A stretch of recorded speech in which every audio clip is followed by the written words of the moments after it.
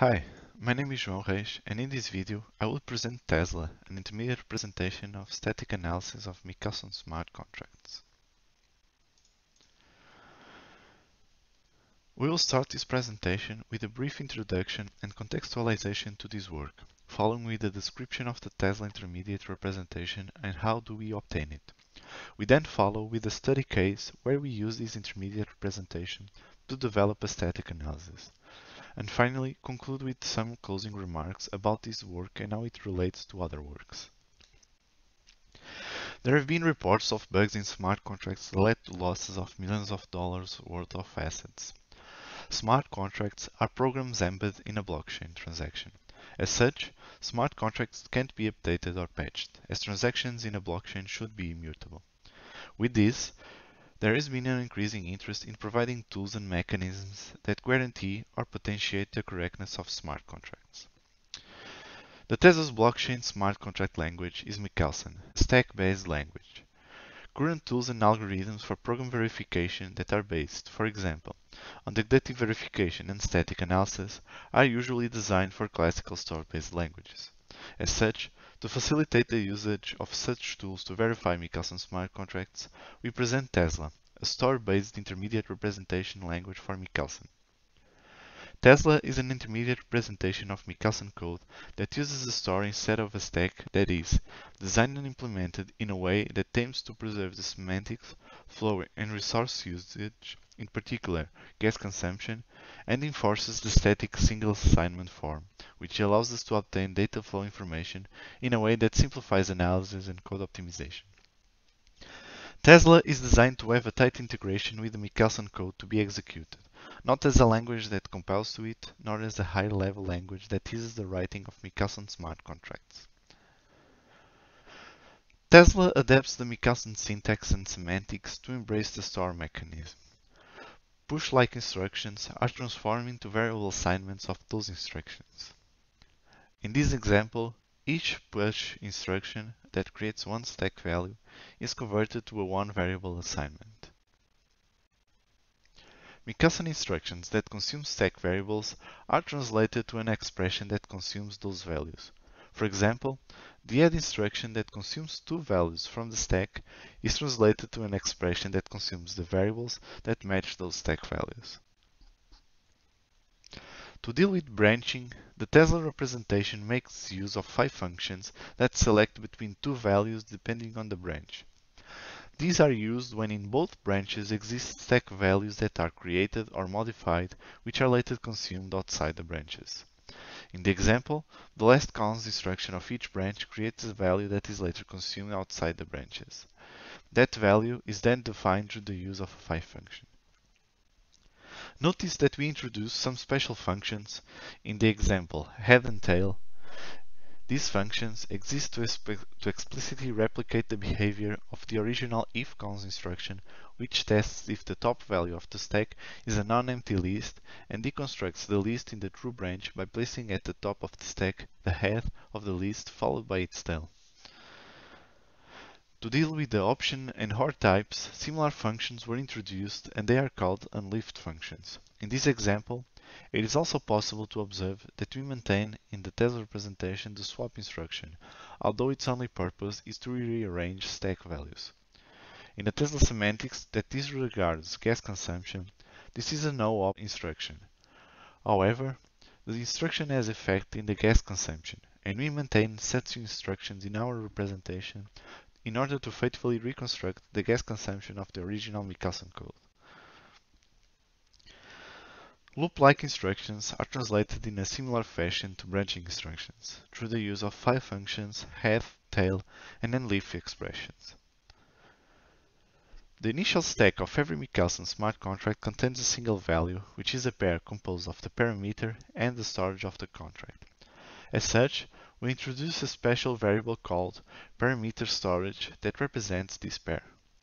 Also, every Michelson smart contract must have a final stack containing a single element, which is a pair of a list of internal operations emitted by the contract and a new storage. We make use of a return function to explicitly declare which variable contains such pair, list of internal operations emitted by the contract and a new storage. we make use of a return function to explicitly declare which variable contains such pair. To demonstrate the applicability of Tezla, we now present how we can build static analysis upon a generic data flow analysis platform called SoftCheck. SoftCheck provides an intermediate representation called SEAL, which is rich enough to express high-level as well as low-level imperative programming constructs, and is simple enough to be adequately translated into CFGs.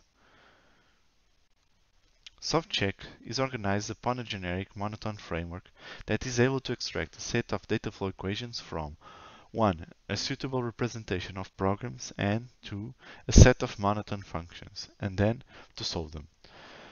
The procedure to create an analysis using SoftCheck and Tezla is as follows. We create an instance of SEAL for Tezla. Then we also implement a module that defines the desired analysis. Finally, we provide both the Tezla SEAL instance and the analysis module to the platform, alongside with the Tezla represented smart contract in order to run the analysis over that smart contract. At this point, we can develop different analyses using Tezla and SoftCheck. Our case study proceeds with the development of an example simple sign detection analysis for demonstration purposes. This analysis can evaluate the sign values present on this lattice. The value top represents a situation where the analysis is not able to determine a concrete value, and the value bottom represents a non-numerical value. Here we have a simple smart contract example that multiplies the parameter by minus 5 if it's equal to 0 or by minus 2 otherwise and stores the result in the storage. We also have its Tezla representation that translates to the following CFG. Running a simple sign detection analysis on this example, we were able to detect that the sign values of type NUTS are, by definition, always zero or positive.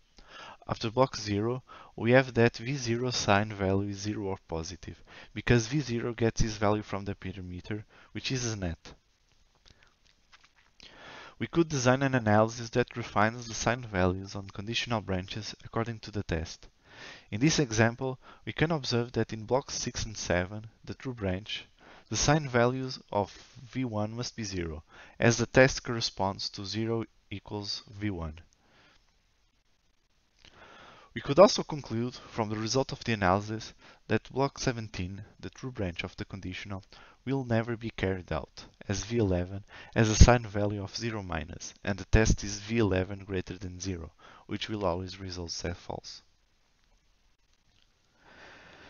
Tezla and all the tooling and interfacing with SoftCheck was implemented in OCaml.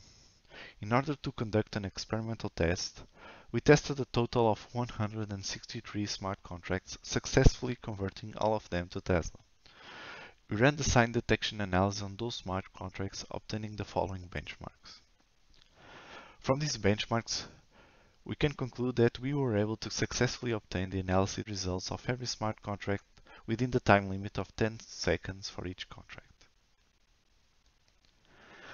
Related to this work, there are several high-level languages that target Michelson. However, a program analysis tool that would target one of these languages should not be easily reusable to programs written in other languages. Furthermore, it is not possible to define a gas consumption analysis using these high-level languages without looking at the compiled Michelson code, as gas consumption is defined at the Michelson level. There are also some contributions about intermediate representations for smart contract verification and analysis. Scilla is an intermediate language that aims to serve as a basis representation for program analysis and verification of smart contracts. We feel that Tezla is at a different level than Scilla, as we could use a different Tezla representation for, to be a mid-step between having a Scilla representation and the Michelson code. Slither is a static analysis framework for Ethereum smart contract that introduces an intermediate representation that has some common characteristics with our work. Specifically, it facilitates the implementation of static analysis and enforces an SSA form. However, the authors claim that this representation is not able to faithfully model the gas consumption information which is something we defined as a key point and took into account when designing Tezla. Solidifier is a bounded model checker for Ethereum smart contracts that converts the original code to a formalization of Solidity that runs on its own execution environment. In this work, the authors say that they coarsely approximate gas consumption. As we said before, one of our goals is to be able to faithfully recreate the original gas consumption on our intermediate representation. To conclude with some final remarks, this is the first work towards a static analysis platform for Tezla smart contracts. Tezla positions itself as an intermediate representation that is designed and structured so that it aims to ease the adoption and development of static analysis tools while maintaining the semantics of the original code. We demonstrate its applicability through a case study of integrating this intermediate representation of an subject in order to develop a simple sign detection analysis. As future work, we plan to formally demonstrate that Tezla semantics are equivalent in respect to Michelson semantics, including gas consumption. We also plan to identify smart contract problems and properties that should be subject of study and develop analysis that identify those problems and extract such properties. We also want to integrate Tezla with different static analysis tools so that we can broaden the number of possible properties and types of analysis. With this, I end this presentation and thank you all for your kind attention. You are encouraged to contact us with questions or suggestions through the email addresses on the first slide.